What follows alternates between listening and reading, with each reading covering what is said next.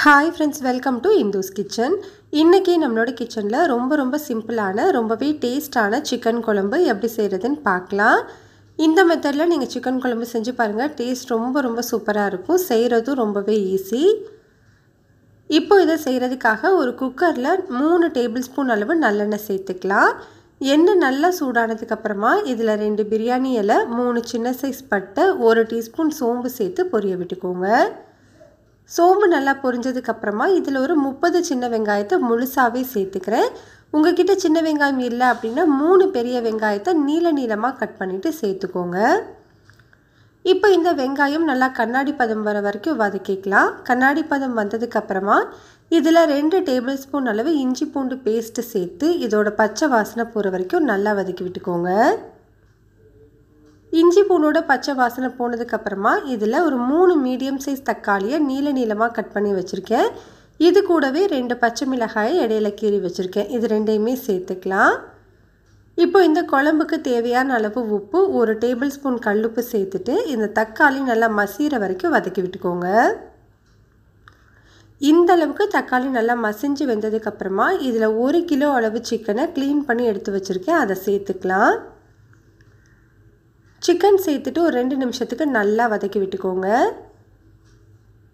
ரெண்டு நிமிஷத்துக்கு அப்புறமா இதை ஒரு மூடி போட்டு ஸ்டவ்வை மீடியம் ஹீட்டில் வச்சுட்டு ஒரு அஞ்சு நிமிஷத்துக்கு வேக வச்சுக்கலாம்.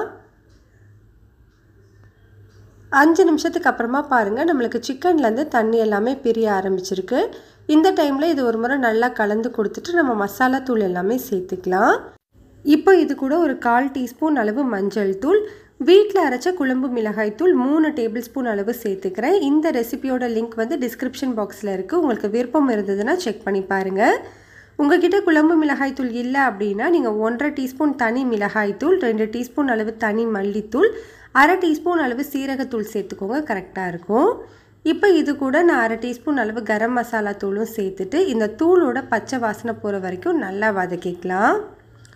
பச்சை வாசனை எல்லாமே போனதுக்கு அப்புறமா ஒரு மிக்சி ஜாரில் அரை கப் அளவு துருவின தேங்காய் ஒரு டீஸ்பூன் அளவு சீரகம் அரை டீஸ்பூன் சோம்பு கொஞ்சமாக தண்ணி சேர்த்து நல்லா ஸ்மூத்தான பேஸ்ட்டாக அரைச்சிட்டு சேர்த்துக்கலாம்.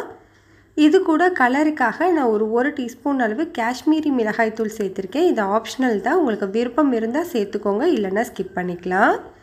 தேங்காய் சேர்த்துட்டு ரொம்ப நேரத்துக்கு வதக்கக்கூடாது. ஒரு ஒரு நிமிஷம் மட்டும் நல்லா வதக்கி விட்டுட்டு இதில் இப்போது மெஷரிங் கப்பில் ஒரு ரெண்டு கப் அளவு தண்ணி சேர்த்துக்கிறேன். இந்த குழம்பு வந்து ரொம்ப தண்ணியாக இருந்ததுன்னா டேஸ்ட்டாக இருக்காது. அதனால் தண்ணி வந்து அளவாகவே சேர்த்துக்கோங்க. பாருங்கள் இந்த குழம்போட கன்சிஸ்டன்சி உங்களுக்கு இந்த மாதிரி இருக்கணும். அப்போ தான் வெந்து வரும்போது கரெக்டாக இருக்கும். இந்த டைமில் நீங்கள் உப்பு எல்லாமே செக் பண்ணிக்கலாம். செக் பண்ணிவிட்டு இது கூட கொஞ்சமாக கருவேப்பிலை சேர்த்து மிக்ஸ் பண்ணிவிட்டு ப்ரெஷர் குக்கரில் மீடியம் ஹீட்டில் ரெண்டு விசில் வச்சு எடுத்துக்கலாம். ரெண்டு விசிலுக்கு அப்புறமா ப்ரெஷர் எல்லாமே ரிலீஸ் ஆனதுக்கப்புறம் ஓப்பன் பண்ணி வச்சுருக்கேன். பாருங்கள் நம்மளுக்கு சூப்பரான சிக்கன் குழம்பு ரெடியாக இருக்குது இப்போ இதில் கொஞ்சமாக பொடியான இருக்குன்னா கொத்தமல்லி இலைகள் மட்டும் சேர்த்துட்டு கலந்துக்கலாம். அவ்வளோதான் நம்மளுக்கு ரொம்ப ரொம்ப டேஸ்ட்டான சிக்கன் குழம்பு ரெடி கண்டிப்பாக இதை நீங்கள் ட்ரை பண்ணி பாருங்கள் ரொம்ப ரொம்ப நல்லாயிருக்கும். இட்லி தோசை பூரி சப்பாத்தி பரோட்டா சாதத்தோடு எல்லாமே எல்லாத்தோடுமே நல்லாயிருக்கும். இந்த ரெசிபி உங்களுக்கு பிடிச்சிருந்ததுன்னா லைக் பண்ணுங்கள் ஷேர் பண்ணுங்கள் கமெண்ட் பண்ணுங்கள் மறக்காமல் இந்துஸ் கிச்சனை சப்ஸ்கிரைப் பண்ணிக்கோங்க. கூடவே பெல் பட்டனையும் கிளிக் பண்ணி ஆளுங்கிற பட்டனையும் கிளிக் பண்ணிக்கோங்க.